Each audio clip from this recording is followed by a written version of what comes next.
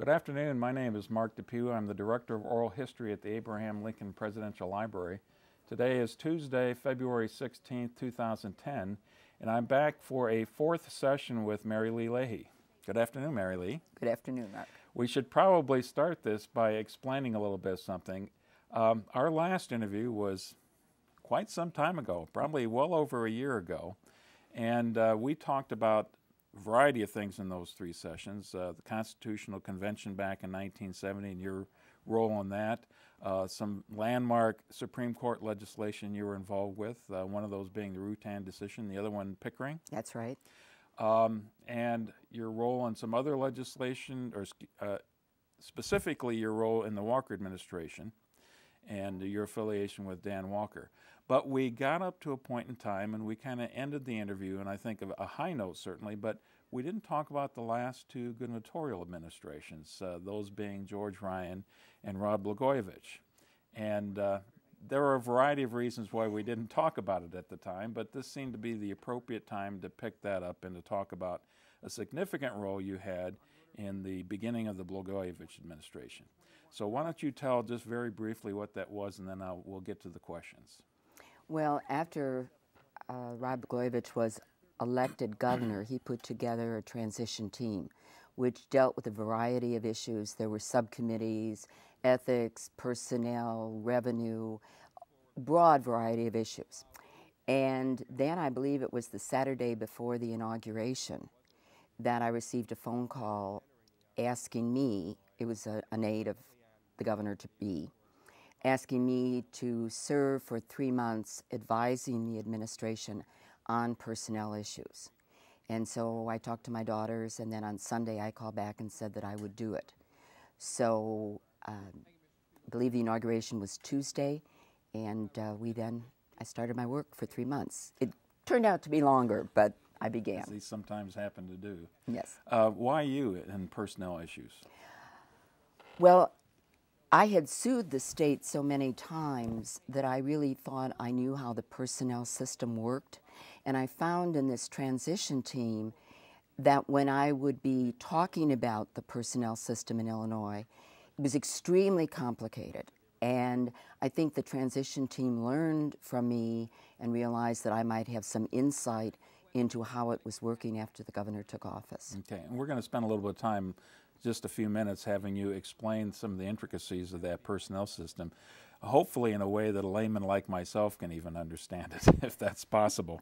Um, you were serving on the advisory board and not the transition team itself? That's right. Now, what was the difference in the two? Because the advisory team got recommendations from these committees on certain issues. And uh, reviewed them and that type of thing. I mean, it was tremendously active. I mean, we had meetings and there were lots of people involved. Dawn Clark Netsch, Ab Mikva. I mean, he really put together a, mm. a really outstanding transition team and advisory board. The problem was that once the inauguration took place, it seemed to me all of that disappeared. Mm -hmm. Who else served on the advisory board with you? Who chaired the board? Well, the board was co-chaired. I believe that uh, Governor Thompson was one of the co-chairs. He conducted several of the general meetings, and they were held in Chicago. So here you have a brand new Democrat, first one in how many years? 20 years, perhaps? Something like the 22 years, maybe? And he chooses to, to chair his advisory board, the former Republican governor of the state. That's right. And I think that was a tone of reaching out to both sides of the aisle, which um, I believe also fast disappeared. Mm. Well, a couple of others that I had uh, written down here Roland Burris. Yes. name in the news here recently. Luz Gutierrez. Yes. And uh, Margaret Blackshear. Yes, Margaret Blackshear was the first, I hope I've got that right, the first woman to head the AFL CIO in Illinois. She had been head of the Illinois Federation of Teachers which is part of the AFL-CIO, and then moved into the presidency. And I have you down as the vice chair of this advisory mm -hmm. board. Yes. Okay. Was that more than just a, uh, a figurehead position? Well, it just meant attendance at the meetings and contributing what I could. No, I don't think it had any particular duties. It was more or less the title. Okay. Tell us a little bit about the transition team itself then. Well, as I said, we were discussing all sorts of issues, tremendous variety of issues, hoping then to turn it into legislation or executive orders so that the new administration, the Blagojevich administration, would appear to be moving, to be changing things, and um, reforming things. I know ethics was a big topic, as you can imagine. And who did he have working on the ethics piece? Well, I specifically remember Ab Mikva and Dawn Clark Netsch contributing a lot. And then these subcommittees had a staff member or two to assist them in drafting different proposals, making changes, circulating the proposals for comments, that type of thing. Now, I know that the, uh, the transition team itself was headed by David Wilhelm. What can you tell us about David? He was very active in the campaign.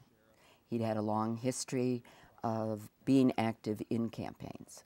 He, he even had a national uh, prominence, did he not? Yes, that's correct. Okay. Any other names that stick with you that were involved with the transition team? There were several lawyers from prominent law firms in Chicago, including Winston and Strawn, Governor Thompson's law firm. And uh, many of those lawyers had had experience on personnel issues. So we had a lot of give and take on that. Okay. Um, what were the specific terms of your agreement with the Blagojevich administration? First of all, did you have a contract? Well, that was one of the issues. Um, I kept asking for my contract. And finally, in mid February, I stopped working and went up to Chicago and met with Susan Lichtenstein, who was the uh, governor's chief legal counsel. And I said, Look, under the laws of the state of Illinois, I've got to have a contract. And um, I think there was a bit of difficulty with the chief legal counsel and the other counsel in that they came out of corporate America, uh, mm-hmm. corporate Illinois. And so, you know, you sort of just snapped your fingers and things happened. And so the personnel code and the procurement code and all these various codes that governed Illinois business were difficult because I think some of them viewed it as hampering being able to do things. But I said, look, I've just got to have a contract. So then when I got the contract, it did not retain me as an attorney. In fact, that was explicitly crossed out as legal consultant. The word legal was crossed out and initialed it, and I was retained as an attorney on personnel matters. Now, this is a standard contract.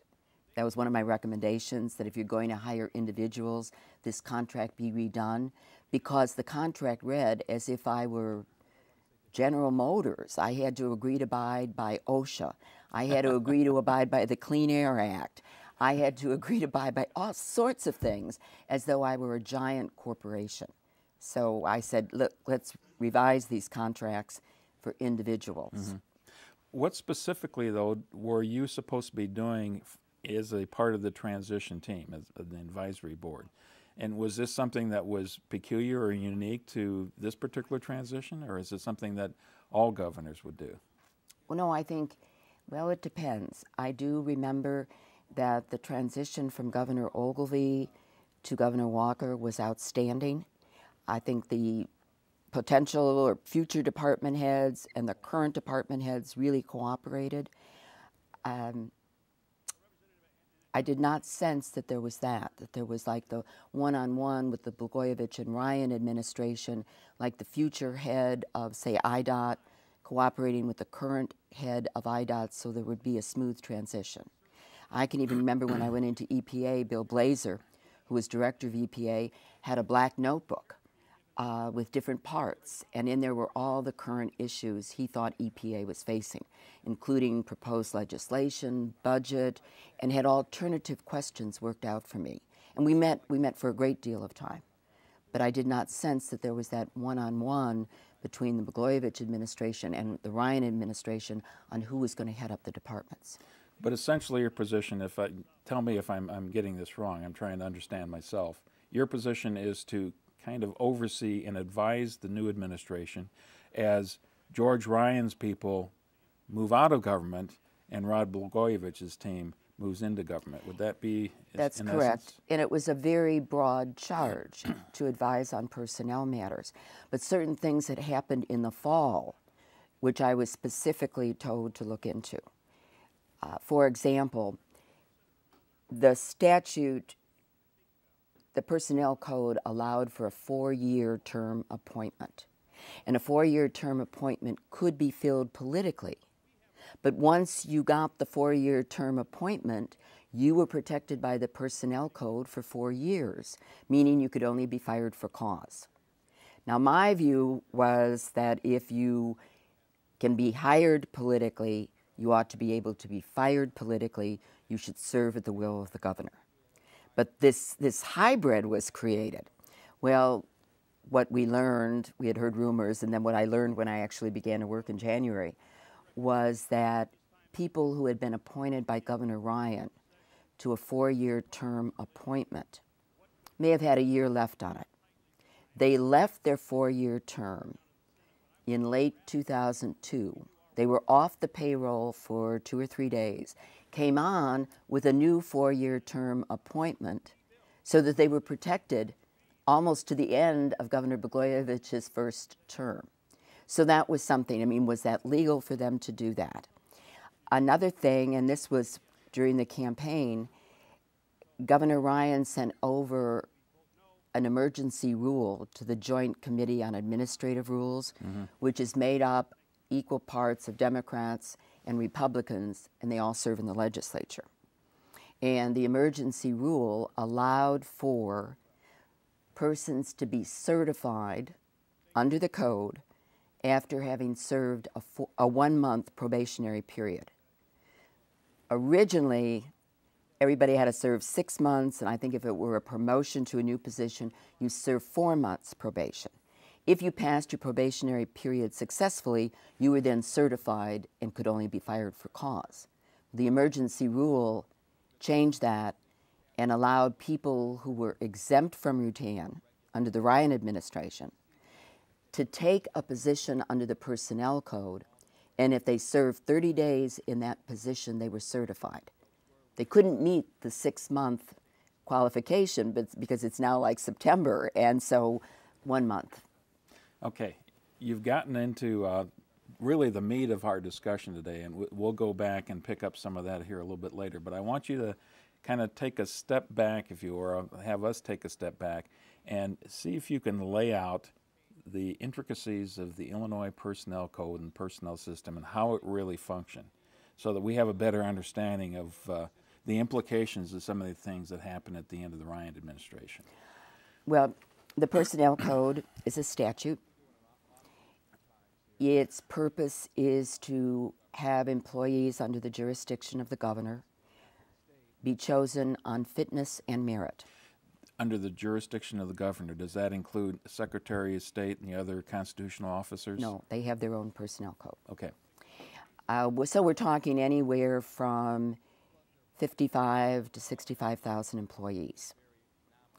Most of them are under the personnel code, meaning they are hired, they serve a probationary period, they're certified, and they have all the protections of the code, including certain benefits health insurance, retirement, ability to bid on promotions.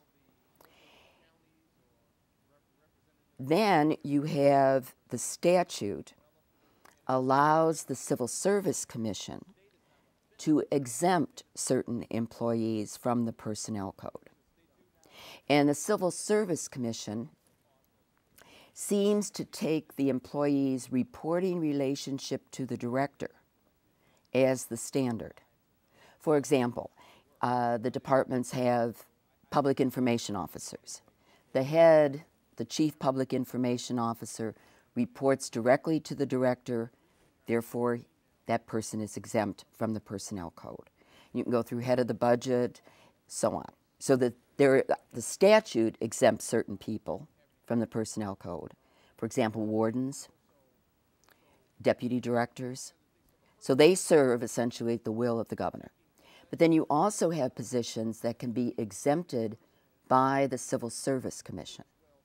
And their standard really is uh, one of reporting. How close are you to the head of the department? The theory there being that uh, the new administration needs to be able to uh, bring in people who have a similar philosophy and a, uh, an approach to governance? Absolutely. But the problem was, and I read Civil Service Commission minutes, during my contractual period, I read, I think I went back two years, may even gone back to the beginning of the Ryan administration. And I saw departments presenting to the Civil Service Commission the outline of positions they wanted exempt from the personnel code, meaning that person served at the will of the governor or the director of the department. And then, after Ryan decided he was not going to run again, those very same departments were presenting new organizational plans to the Civil Service Commission and putting positions that had been exempt from the personnel code, now making them protected by the code. So we had all sorts of things going on in the year 2002 to, in a sense, freeze in people who had been exempt but now would be protected by the personnel code. And therefore, the new administration would not be able to appoint people to those mm-hmm. positions. Mm-hmm. Uh, who were the members of the Civil Service Commission, and how do you get to be a member? Oh my goodness, that's that's I don't remember. It's an appointment by the governor, confirmed by the Senate. Okay, and is it is it paid positions in the state, or is it? Uh, yes, but it's not full time. Okay. They meet at a certain basis. Um, the Civil Service Commission uh, my view is their primary task is to deal with what positions are exempt or protected by the personnel code and to deal with disciplinary action. So that if a person is fired, there's a hearing officer, here's the case, makes a recommendation to the Civil Service Commission, and they adopt it or reject it. Is there some attempt in the appointment process to make this a bipartisan board? Yes. Okay. Okay. Um, you haven't mentioned the word Rutan. How does Rutan factor into this? Well, see, that's my basic problem. I think that if you are exempt under Rutan, meaning that the position can be filled politically, I believe you ought to serve at the will of the governor. Mm-hmm. And I believe that the Rutan exempt positions ought to be exempt from the personnel code. So you have two different standards. To be exempt under Rutan means that the job is such that politics can be taken into account when you fill the position. Personnel code, it's how close is that person to the director. So you have positions that are Rutan exempt that are protected by the personnel code. That makes no sense. Mm-hmm. I think an administration needs to put in its people to make sure that its policies are implemented. But is it it's a is it true to say though that if uh, if a position is not Rutan exempt, well, let me put it this way: the personnel code, if it's not personnel exempt, it's covered by Rutan. No.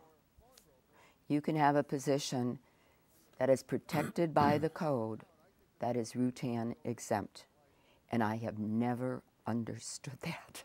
Okay. Well, this is almost Byzantine and trying to understand how it all works. Well, I mean, to me, if you can, if the position is such that it can be filled politically, that position ought to serve at the will of the governor.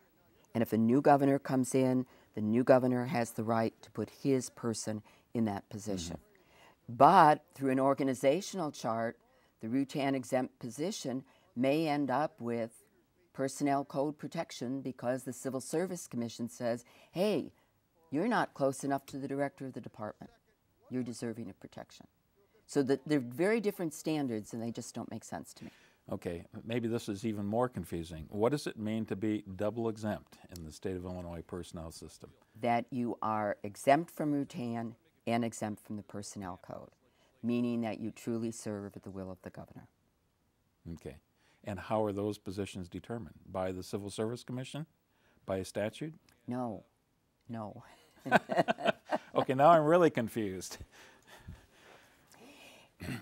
if the Civil Service Commission says the position is exempt from the personnel code, you have one part of the double exception. If you look at the job, and this has always been really central management services in the governor's office, if you look at the job and you say politics is a prerequisite for that position, then it's double exempt. It's exempt under Rutan, it's exempt under the code.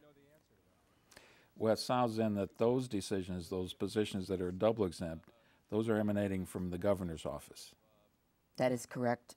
Um, after Rutan came down, uh, Governor Edgar selected a consulting firm to do two things to create a manual to train the state employees on how to fill positions based on merit, and secondly, to determine the positions that were Rutan exempt. And those positions in like 93, 92, 93, when we settled Rutan, there were about 3,000 exempt positions. And I had a notebook that the governor's office gave me, and when they updated it, I would get a new version listing every Rutan exempt position by department and by location. And I had no problem with those positions also being exempt from the personnel code, but it didn't work out that way. Any idea why it didn't work out that way? Is I that- don't think anyone's raised the question. I mean, this is one of the things, one of the recommendations I made at the end of my contract. If it was to be fixed, if it was to be realigned, how would that go about? Would it be some kind of legislation that would be required? Yes, I thought so. Revision to the personnel code. Okay. So there are lots of issues that I that I gave advice on that I thought should be looked at. Okay. Now, this this isn't a question I anticipated asking, but and it's a delicate one. But uh, would it be in the interest of most chief executives, most governors coming in to keep it a little bit murky so they have more control over the hiring process of those people who are important to them? Only if they wanted to freeze in their people when they were leaving. Okay. well, that takes us full circle, doesn't it? Yes. Um, it probably is good at this point in the discussion to talk about the end of the George Ryan administration and the atmosphere, the, the position he found himself in those last few months of his administration. What was he going through? Well, there was certainly word of indictment. And that was, you know, that had dominated the news for a long time. I mean, people were saying as soon as he's left office, mm-hmm. He's going to be facing a federal indictment. And his chief advisor was already going through the, the trial process? That's right. Okay, and that's Filan? No, no, Filan, Okay. Filan's company pled, but he didn't. John Filan did not plead. Okay, okay, okay. Um, so that's hanging over everybody's head at the end of his administration. And, and that's why this transition team became so important because the thrust was reform, ethics, that kind of thing. And um, didn't turn out that way. Now, most people would look back at the George Ryan administration. Uh, obviously, he's in jail today uh, for the abuses of his administration, uh, going back to the time he was Secretary of State in many cases as well. But uh, how would you characterize the personnel abuses of the George Ryan administration in those last few months then?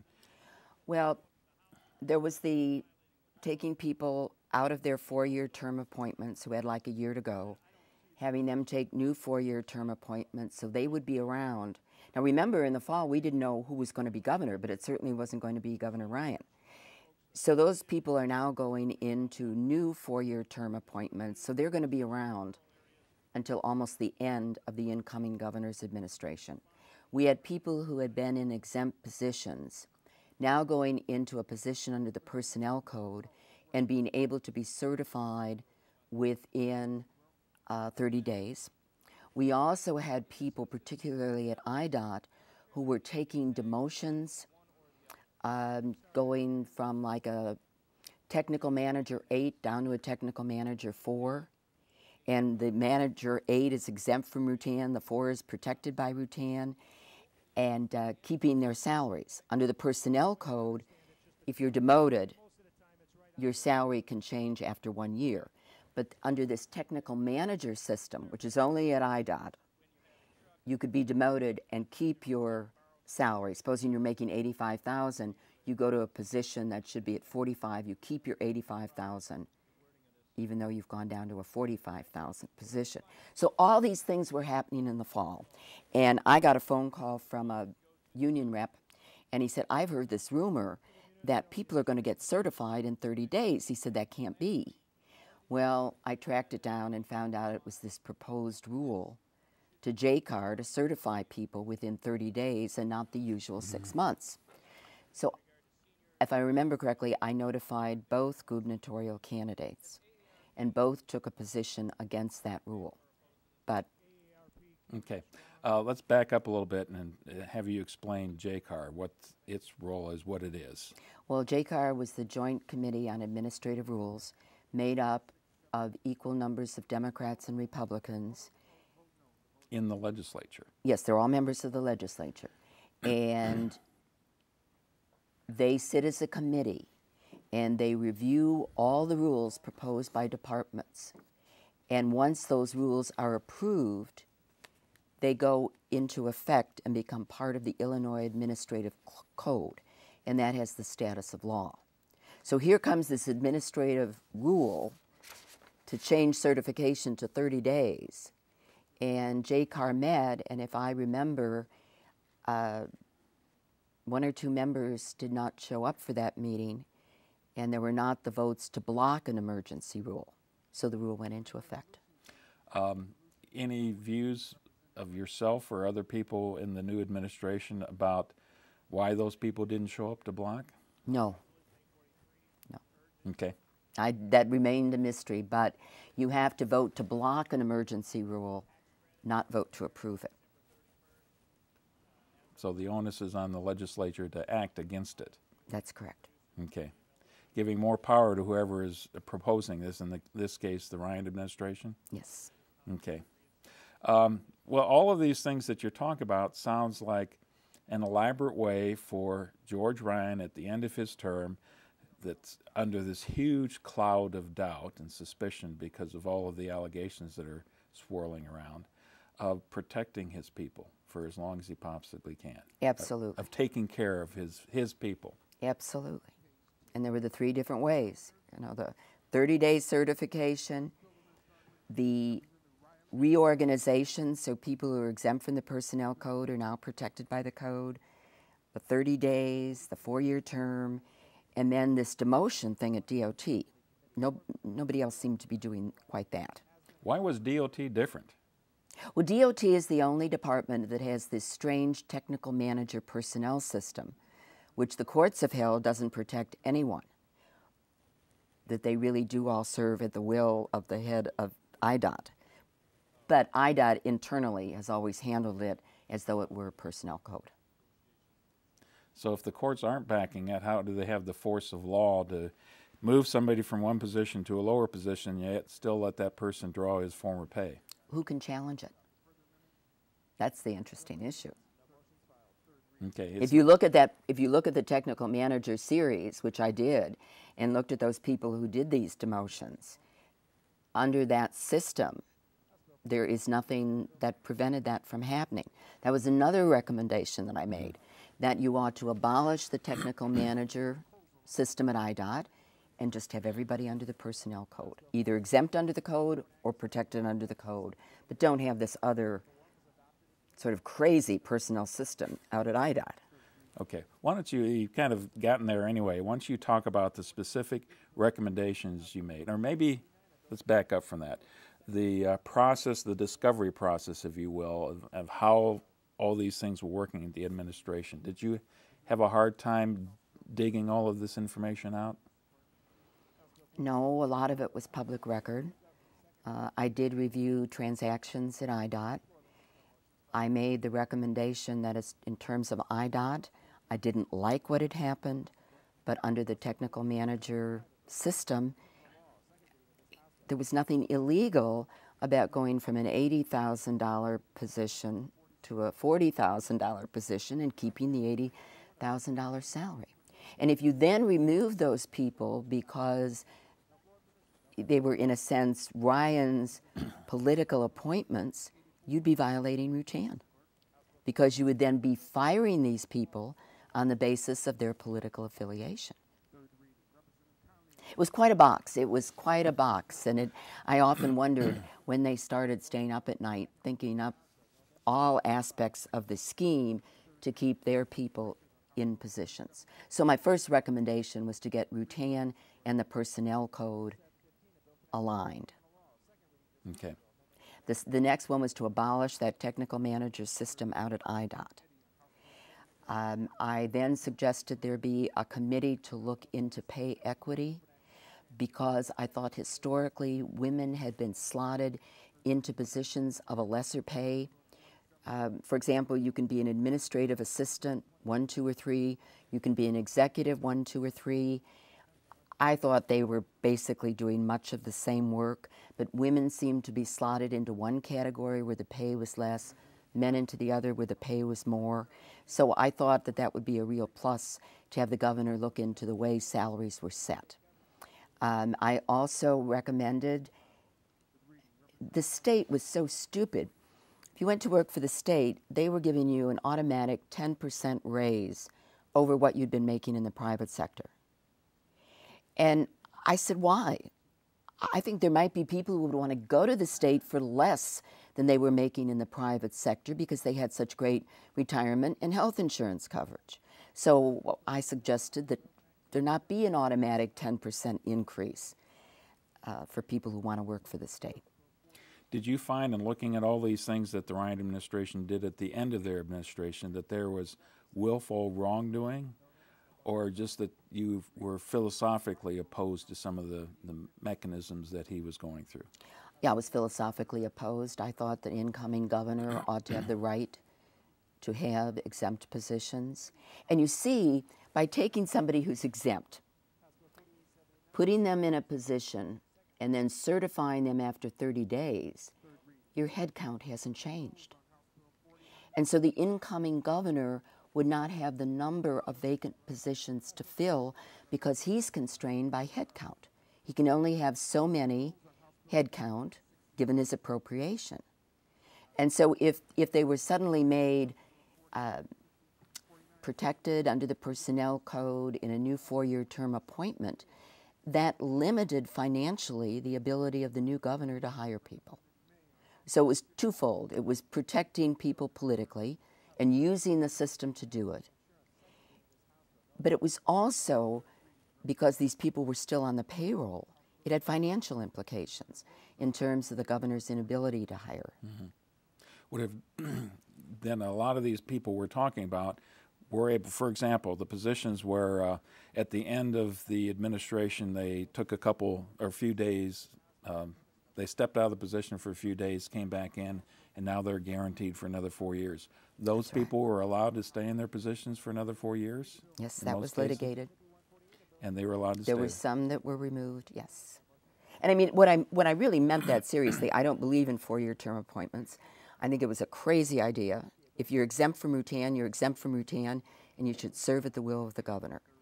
Um, when they first conceived of the idea, I think it was to be four years, matching the term of the governor.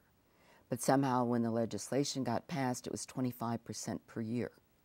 So the incoming governor was going to be stuck with a lot of people who had been put in positions politically, but he couldn't get rid of them till the end of their four year term. And they were staggered. Did you put all this in writing in a written report then to the new administration? Well, I did a lot of it orally, and then when I called in May, because as I told you, I had stopped working, and I called in May and asked where I should send my written report, I was told not to put anything in writing. So no written report ever went.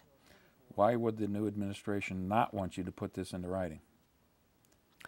Well, my suspicion would be that later on, somebody would get a hold of this report and say, hey, Mary Lee Leahy recommended you look at salary inequity. You know, she said, get some people, high powered people, to look at this problem, which faces women working for the state, but you didn't do it. Or you ought to get rid of the technical manager personnel system at IDOT, but you didn't do it. And that's, that's what my theory was. Okay, but they explicitly said we don't want a report.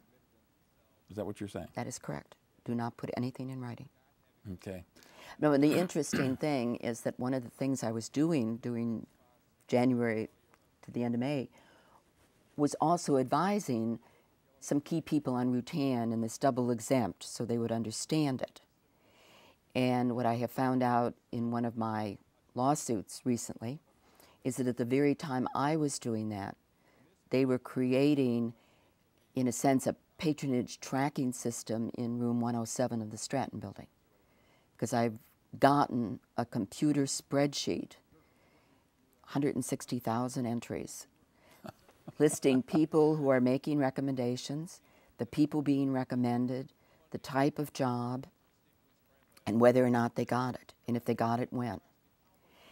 And there was no distinction made between Rutan protected positions and Rutan exempt positions. Now, I think I've not gotten any figures after the end of 2005. The, the spreadsheet seemed to stop before the end of 2005. And I believe that that may have been the, the beginning of when the Fed started looking into hiring practices in the Blagojevich administration. Okay. Um, you've talked about all of the, I guess you would call them abuses at the end of the Ryan administration. Would that be a fair term to use? Well, I believe they were abuses. I couldn't call them illegal, but I think there was a real use of the system to protect my people. Um, and part of what your frustration, at least I'm feeling, is that you turned this information over to the Blagojevich's team, and yet nothing much happened about it. Did you have any other allies in the press or a Better Government Association or groups like that who are kind of championing this cause as well? No, I, I viewed that I was to give, you know, a report to the administration on various problem areas in personnel. I alerted them to what I believed was, you know, like possible lawsuits in the next year or two in personnel matters. And it, it was really for them, I was just opening up the issue. What I was making a recommendation, but I had no power to implement it. And I think what has bothered me is that while I'm training people on the meeting, meaning of Rutan, this spreadsheet system is being created at the same time. Um, so how ironic, right? In total violation, at least, of the uh, the the philosophy of Rutan in the first place. Because I would not have any problem with a spreadsheet for the three to five thousand exempt positions, but when you get into people shoveling coal in the power plant, one hundred sixty thousand might be a little bit excessive. It was a pretty pretty extensive entry system. Okay. How well did you personally know Rod Blagojevich? Not at all. I mean, I did not support him in the primary. Um, I supported Vallas. Paul Vallas. Yeah. Um, but when I heard about this 30 day certification emergency rule, I was really very angry.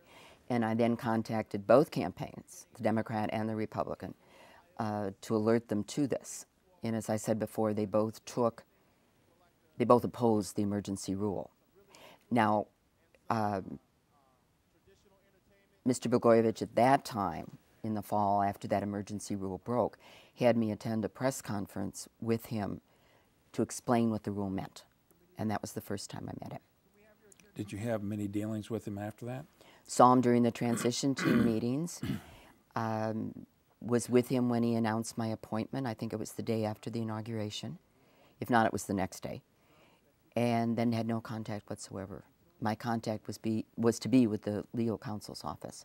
Okay, so it was working with them and not directly with, with Blagojevich at all? No, I did not have any direct dealings. Okay. Um, well, let's talk a little bit more about the relationship you had with people within his administration because you've kind of painted a picture that it wasn't all that pleasant for you. It was sometimes difficult to work with. Well, I think the first difficulty was that I did not have the contract. And I, I, can't explain it. It's sort of an attitude, well, you know, why does that bother you? Well, it bothered me because I knew by law I was required to have a contract. Um, and I did not think when I would give my oral, you know, suggestions like, hey, how about putting together a really blue star committee to look into pay equity? I didn't get the feeling that it was being taken very seriously. Do you even know if that information was getting up to the governor himself? I have no idea. I have no idea whether my appointment to go in and look at personnel issues was show or for real. And in the last few months, since I've seen this spreadsheet, I'm beginning to think it was a lot more for show than for real. Did you ever make an attempt to uh, go directly to the governor himself and, and express some of your concerns and the recommendations you had to him directly? No, Okay. Didn't think that was appropriate to do, or no, because I had been told where the chain of command is. and I mean, under Walker, Bill Goldberg, Walker's chief legal counsel, nobody could have been closer to him than he was. I mean, they they talked maybe on an hourly basis during the workday. Uh, Bill played tennis with Dan in the early morning. Um, so my thinking is chief legal counsel is like the governor's right hand. So, you know, I was hopeful back then. That's a long time ago. And the transition process had led me to be very hopeful. And uh, I assumed that by telling the chief legal counsel or the deputy chief legal counsel these things, that it was okay. what was your initial impression when you were first asked to be an advisor of Rod Blagojevich, the man and politician? Well, the transition experience had been such a good one that I was very eager to do this. Okay. But I, I just give you one example. I was at my aunt's funeral. I was in the car going from the cemetery to the luncheon, and I think we had WBBM on, and came on that the governor had fired so many people. I think they were four year terms. I didn't know about that. And, and so I thought that perhaps I should have known about that. Uh, so anyway, I mean that. So you know, we're going, we're going from a real, I don't want to say high, but a very high opinion of the new administration and what it wanted to do during the transition period, and then by mid-February, you know, they're not thinking it even important enough that I have a mm-hmm. contract. Was that the thing then that really started to turn your attitude that perhaps they weren't as sincere about all of this, or was that later? Well, I mean, I had tried. I mean, I went to Chicago for a special meeting with the chief legal counsel because my faxes and my messages weren't getting anywhere. You know, I need a contract. When am I going to get my contract? That kind of thing. Okay. So, Um, was there any uh, definite end of your relationship with the Blagojevich administration then? The terminus of this job? oh, yes. I mean, it was supposed to be for three months. I was paid for three months. I stopped in mid February. After I got my contract, I completed my work and was ready to give my final ideas that I'd already relayed orally, ready to do that in May. Mm-hmm. So, yes, it ended in May. Did you actually? I know you said that they weren't interested in the written report. Had you prepared anything in writing for them? Yes, Where is that now? in my office. Well, that's interesting. you know, I got through about three or four of the areas of recommendations and then called and then just stopped. So, but, Okay. uh, you know, those, some of those recommendations are, are still alive and well and still needed. So we'll see what happens next January. Would you be willing to serve on the future administration in the same capacity, or offer up the suggestions Oh, that you had before? Of course. Okay. At the end of this time period, let's May, you say of Yes, May of 2000 2003. Uh, what was your opinion of uh, Rod Blagojevich, the politician then? Not bad. Um, I didn't see as much movement on some of the suggestions of the transition team, but then, you know, a lot of things needed legislation. And the legislature was not quite as friendly, I might say. Well, this is this has nothing to do with your official capacity, but how would you rate uh, Governor Blagojevich today? An awful lot of water under the bridge now.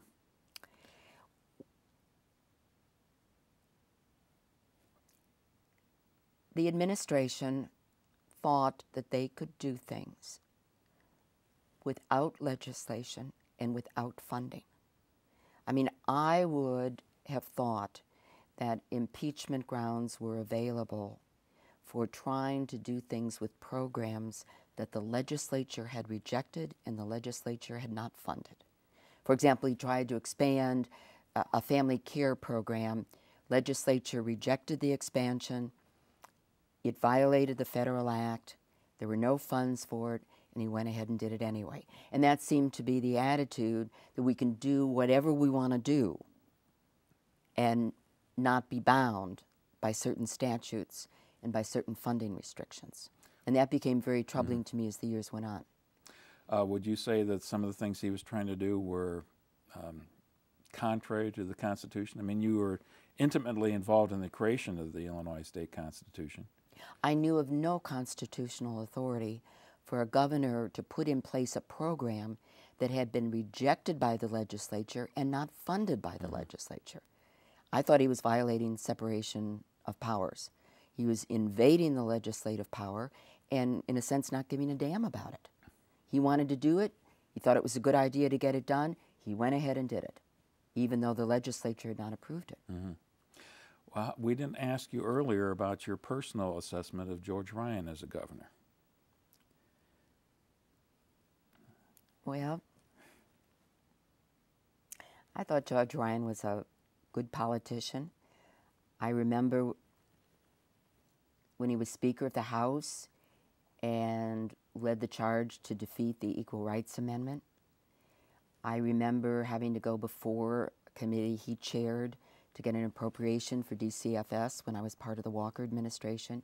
He was very angry at me, and I had nothing to do with the fact that the Senate had not released my appropriation bill. And that was the Senate's control, but he didn't know why the bill wasn't down in front of the House earlier. Um, I must say that with his political appointments, I thought he appointed people who were far more competent than the people that Blagojevich appointed. And I'm talking about exempt positions. At least the Republicans had an element of competency. And I was very concerned not about directors or deputy directors at the Blagojevich administration, but like bureau chiefs, like head of personnel, appointing a woman head of personnel at agriculture who had absolutely no experience in personnel ever. What must that have been like for morale? Because I had taken depositions over the years of people who worked at ag and who worked in personnel, and those employees had been there 20, 25 years and the new head of the Department of Personnel walks in with no experience, and they report to her, but they have to train her, I don't think that's good for morale. And I have never seen morale as bad as toward the end of the Blagojevich administration. Well, that brings us to the opportunity of asking you to make some comparisons because you served in the Dan Walker administration in the mid 70s. Of course, Walker, after he was out of office for things he had done having nothing to do with his term as governor, he ended up in jail. But you've got that case, and now both Ryan in jail now and Blagojevich being impeached and waiting trial. How would you compare Walker with Blagojevich, for example? Oh, Walker believed in governing. I don't know that Blagojevich ever had a cabinet meeting. Um, Walker believed in management by objective, so each department had objectives that they had to meet and we gave quarterly reports to the governor's office on what we were doing. For example, my trying to remove so many kids from institutional care to foster care, from foster care to group homes, from group homes back home. I mean, we had goals. Um, I remember Joyce Lashof, head of public health, had to inoculate so many children in the state of Illinois per year, per quarter. We had goals that we had to meet. I don't know that any department under Blagojevich had to account for what they were doing. You know, I do other work. I do family law, I do wills, I do a little bit of simple probate. And I've had people come to me who work for the state. I had one woman come about a year ago and she said, You know, I'm a head of a bureau. I used to have to tell somebody what my bureau did. She said, I haven't had to report what we do in three years and and that you know i got friends i have clients and everyone that could retire retired as soon as they could or they're counting the days till they can retire and that wasn't true 20 years ago, 30 years ago, people felt it an honor to work for the state of Illinois. Um, the other thing is that when the impeachment proceedings were going on in the House, I got online and got some of the documents they had used, and one of them was a letter of an attorney who had worked in the governor's office in Chicago for maybe 15 months, 18 months. And I thought the governor was just not being in Springfield, but he was hardly ever in the governor's office in Chicago, that he operated out of his home. And, you know, I just found that very unusual. So there was no presence of governing, particularly in the 2nd Mm-hmm. term. Okay. Uh, let's go back just a little bit. Um, you mentioned that uh, this this contract that uh, was eventually signed, but it had taken out the phrase legal advisor. Was that correct? Legal counsel. Legal coun- consultant, I think was the word. Okay. Did that have any implications down the road?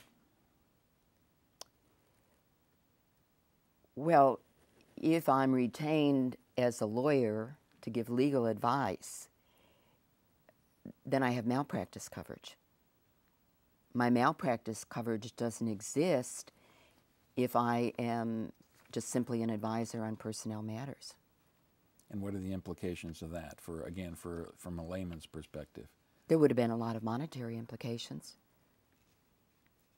if I'd been sued. Mm-hmm.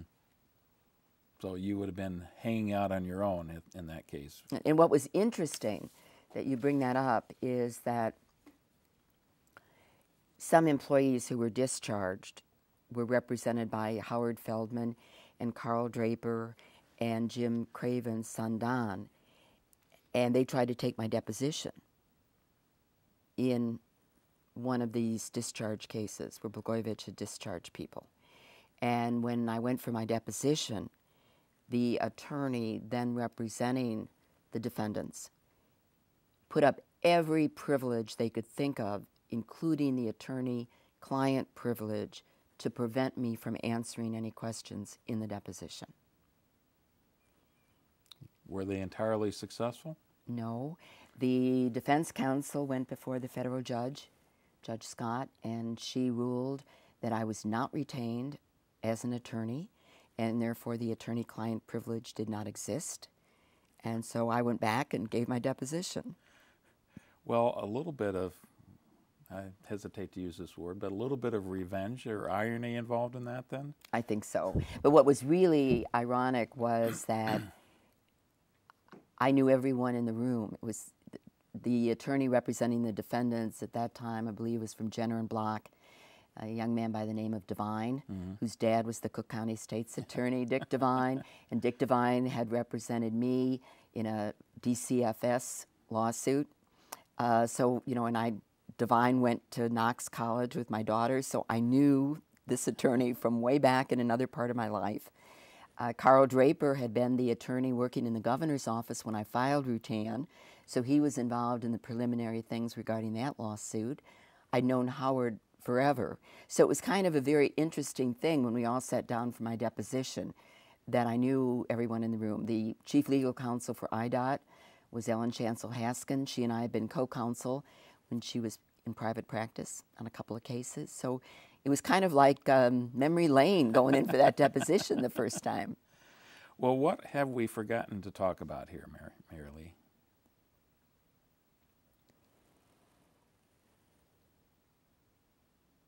I think the lost opportunity. I think there hasn't been a governor in a very long time who had the opportunity to do what Blagojevich could have done. I mean, you have a Democratic Senate, you have a Democratic House, you have a Democratic governor, and the departments were, I don't want to say screaming out, but they were aching for direction, guidance, competency. There was so much hope in January and February of 2003, and then nothing happened. And I think it was just a tremendous lost opportunity. And when you're saying lost opportunity, not just the reform of the personnel system to make it more efficient and more logical and how it was structured, but in other areas as well? Absolutely. Ethics. I mean, it was just crying out for ethics legislation. And we finally got something through uh, just recently since Governor Quinn's become governor. So, I mean, there were all sorts of areas. Um, there were areas where if we would have coded something different, our federal reimbursement, because my daughter worked on this, our federal reimbursement would have gone from 50% for this particular project to 75% of the cost. And when my daughter raised with the department, well, why are you coding it so you only get 50% from the feds? Well, we've always done it that way. Well, there was a real chance, and finally, after six months, they did recode it and they began to get the 75% reimbursement from the feds. But it was little things like that where there were untold opportunities to straighten things out in the state of Illinois. Any final words for us? We've had uh, a wonderful conversation. You've helped me understand a little bit better, a lot more about the personnel system in the state. And I'm, I'm still confused about many things, but I suspect that's because it's kind of a convoluted system in that's many right. respects. And I think there ought to be a new personnel code. Okay. How would you uh, conclude then, having just said that? Oh, I'm not sure it will ever happen. not in my lifetime. So we'll see. Okay. Thank you very much, Mary Lee. It's been a lot of fun. Thank you. And thank you.